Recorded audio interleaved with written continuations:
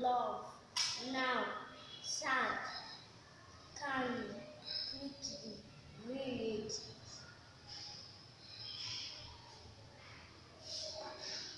When Tom, Tom, most, self,